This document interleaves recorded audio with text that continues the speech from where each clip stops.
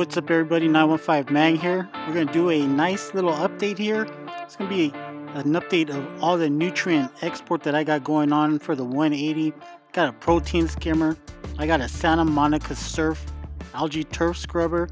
And I'm going to do an update on the reactor, the Chaeto reactor that I uh, made. And we're going to see how everything uh, came out. I was a little worried when I did this experiment protein skimmer taking out everything, uh, turf scrubber taking out everything, and then putting a uh, Chaeto reactor online. Well, you know, I was thinking either or was gonna kind of drown themselves out, but as you can see right here, taking a look at this Chaeto reactor, this is a 20 inch reactor, Excel, and uh, this Chaeto has grown upwards. It took a little bit to take off, but as soon as it started taking off, it it started growing. It's reaching the top and the bottom, and I used the entire strand of LED lights on this reactor. Now check this out. Another thing that I'm doing to my tank to the 180 to help out is I'm turbocharging the beneficial bacteria, and I'm doing that by dosing vinegar, regular household Walmart uh, great value vinegar into the tank. It's uh, a food, it's a carbon source for all that bacteria. They go hungry, they eat it up, and uh, they help clean out my tank. Now, uh, the thing that I haven't been doing is testing my nitrates or anything like that. I am probably going to go ahead and jump on uh, Marine Depot because they have a 15% off sale going on. And I'm just going to get like maybe a cheap API test kit because I saw it for like 20 bucks. So by the time you see this, I probably already bought it. The last video I did, I did a live stream of the 180 and I was talking about all the things um, I had a lot of pieces that I put up for sale. Uh, I had some local reefers take advantage of things, and this huge bird's nest and a big thing of uh, purple stylo and a little frag pack, I was able to uh, help a fellow reefer out for a good price for everything. These are big colonies that I got rid of and uh, made a little bit of room in the tank. So I'm going to go ahead and show you where the tank is now. Kind of organized, cleaned up a little bit didn't really have a whole lot of time to mess around with stuff, but uh, this weekend for sure, three day weekend, I'll be taking care of uh, some more housekeeping in the 180. So let's get into the update and uh, show you what's been going on. I hope you guys got some popcorn. Go ahead and pause this video if you don't. Get yourself something to drink and uh, let's kick back and uh, enjoy the video update. Some of the things that I want to do and change around is I have that big rock towards the back, which is a Tonga branch. It's like a shaped as a the letter J. It was all full of the GSP, but I'm gonna move it around and change it up. What I did do on this side is pit blastos. Um, I'm gonna go ahead and pit blastos over here, and I'm starting to like the way that this rock came out. I do want to finish up an archway, which I'll show you here in a little bit in a minute.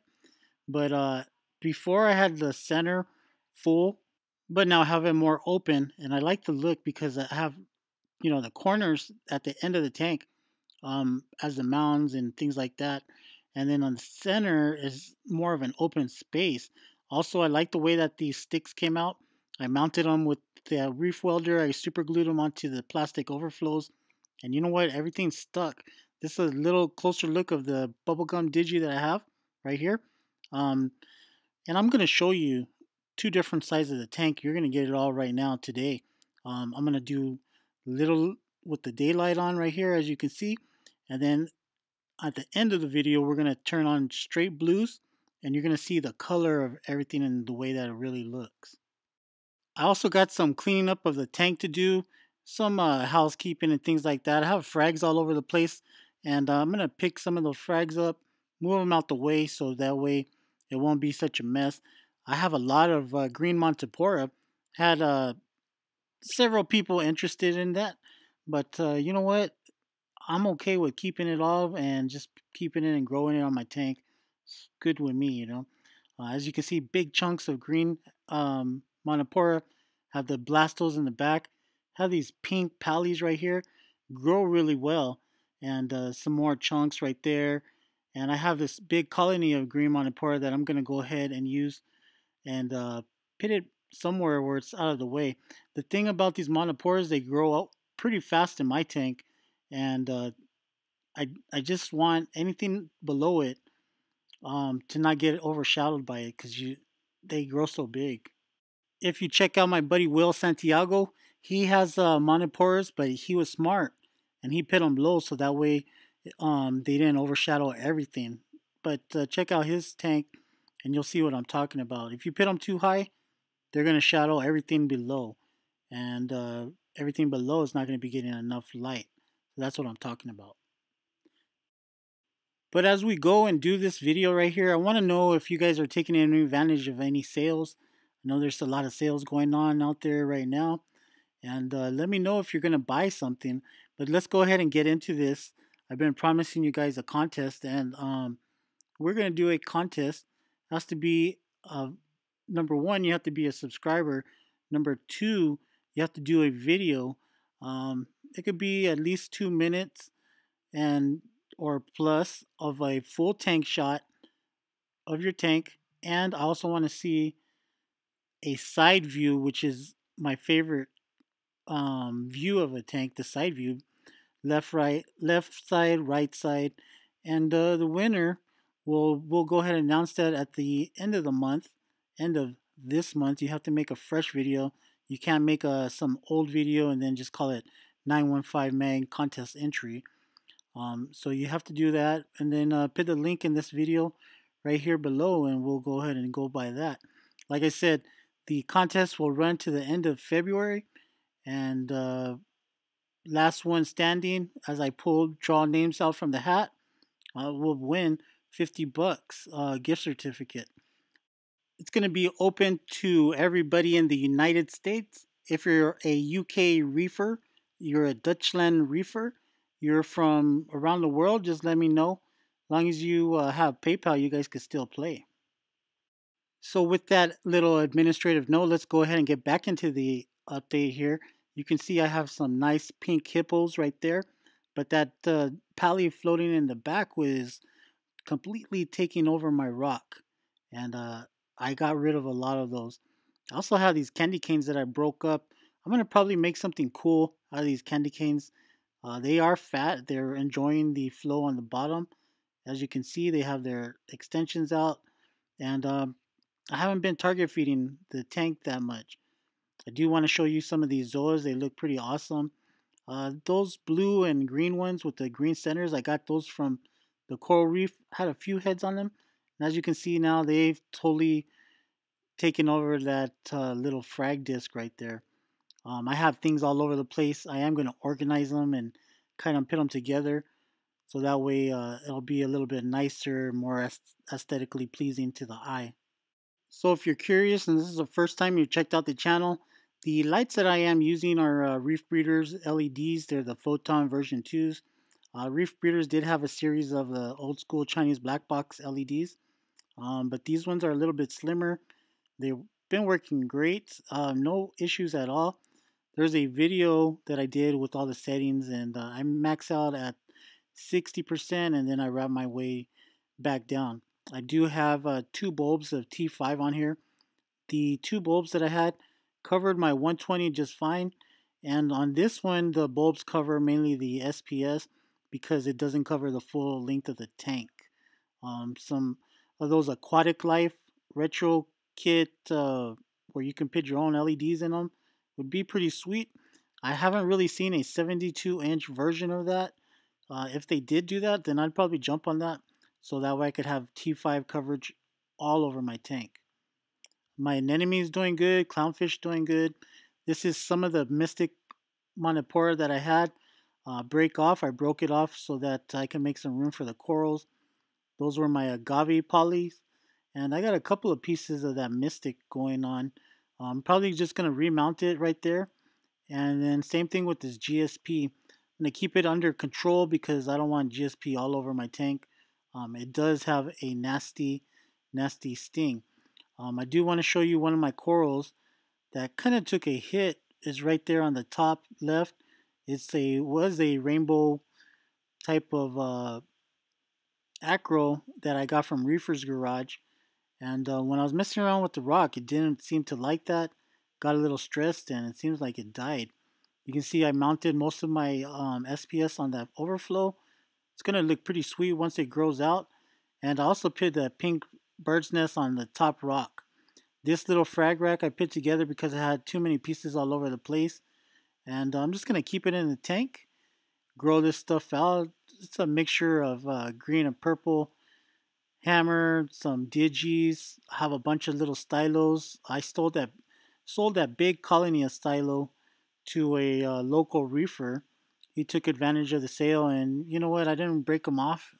Sold it to him for a good price. Um, so I'm pretty sure he was happy about that.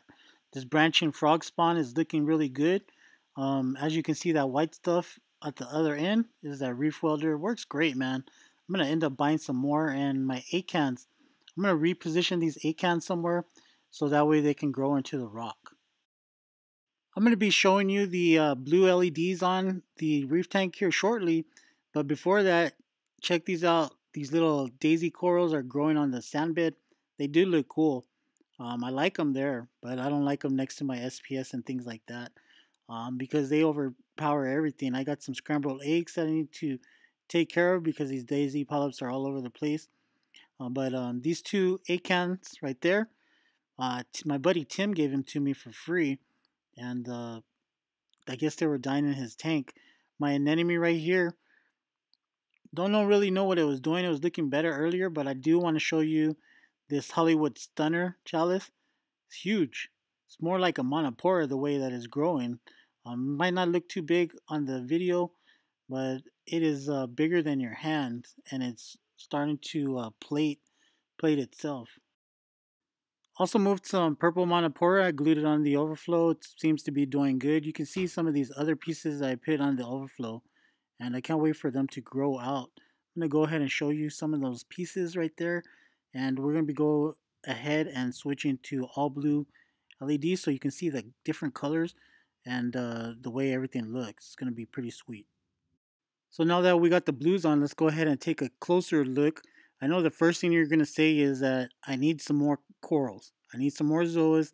I know that I'm trying to tell the wife about that and convince her that I need more. I need more different colors, more different corals, more different sticks. I have that's why I got a 180 so I can get this tank stacked. Um, when I first started out, maybe a couple of months ago, I had several different ones, brand new ones, but they only had one or two heads. But now they're starting to fill out the tank. They're starting to spread out, grow more heads, and uh, become more noticeable. You can see this Miami hurricane that I have in the back. It's full, full of different heads. It's floating. They're touching. They're not killing each other, and uh, it's doing really good. I got those other two chalices from my buddy Javier. Um, these right here are Fruit Loops. They're starting to get their colors back because um, they they were a little bit further away from the LEDs. I brought them back in. I'm going to go ahead and move those out. Um, lots of Rastas growing right here. Lots and lots of Rastas. I have several Rastas around in the tank. and uh, But I think these are going to look pretty cool once they fill out this branching uh, tonga. I did put this branching tonga together with uh, another tip that I had around in the tank, and I used that reef welder. I don't know if you guys have used it or not, but uh, stuff is pretty awesome. I even reused some of this stuff. These daisies, I'm gonna go in there. I'm gonna start uh, striking them, making sure that I get rid of them. I'm not trying to keep them. I'm gonna control them, you know, but I'm not. I don't want them on my uh, scrambled egg zoas right there. You can see that I made a little frag rack. This is more some of that branching, but check out some of these SPS. Some of these I got from uh, Battle Coral, like that one on the bottom right hand corner. You can see the color on it. It's pretty awesome. Um, I hope it colors up once I start stop moving around so much. And in behind, background behind that, uh, I have some Mystic. I put a little bit of that on the overflow, and uh, I'm gonna grow that whole thing out. I do have some GSP growing on the overflow, but I'm going to go ahead and, if I have to, peel back that GSP so that way that whole thing can be nothing but Mystic and SPS.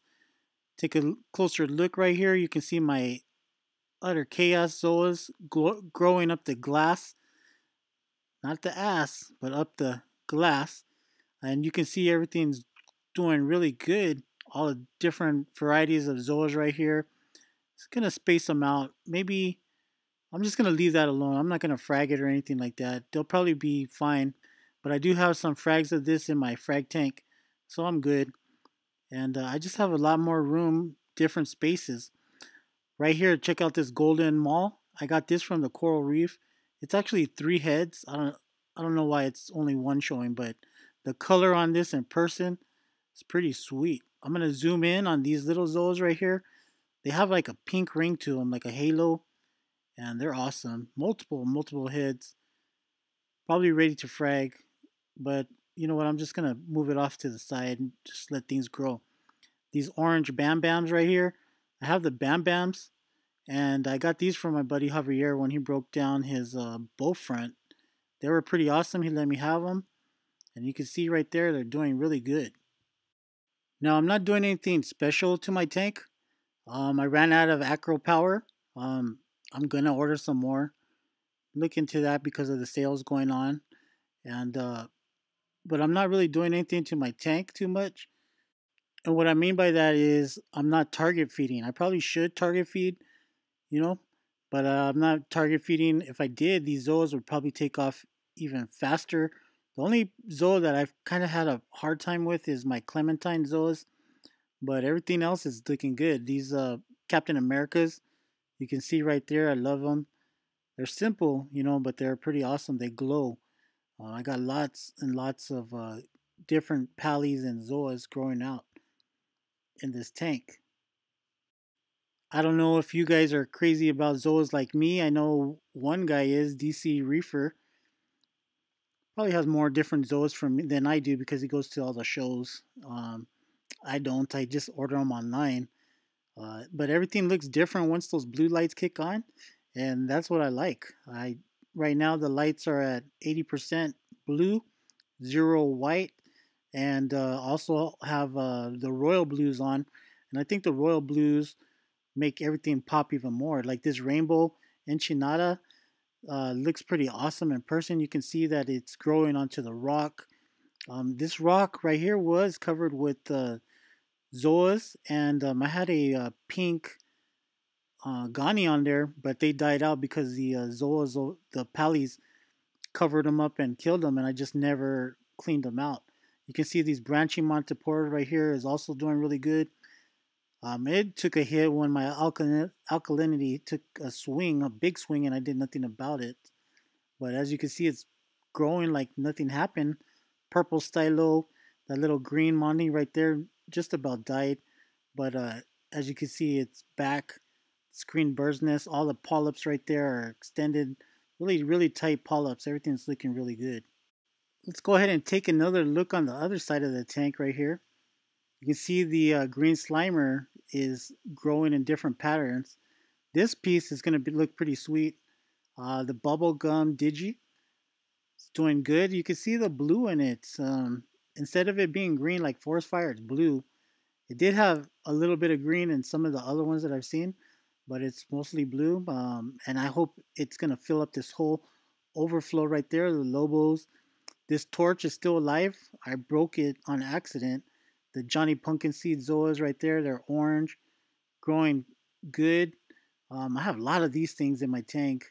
And, uh, you know, I'm going to clean up this side and go from there. Let's go ahead and do a side view. Remember, I want to see a left side view, a right side view, because it's one of my favorite views. You can see all the different colors, all the varieties of Zoas and Pallies that I have. Um, I do want to get some more. And uh, that frog spawn, awesome right there. Very dangerous for the other corals because it has a mean sting to it, but it's going to get this tank going and jam-packed right here. Reef breeders right there on the top. Let me go ahead and walk backwards, give you a full tank shot of the 180. I do like the 180, you know, I haven't done a water change on it since the last couple of videos that I did. So about two weeks. But uh, I am going to go ahead and give you some more updates.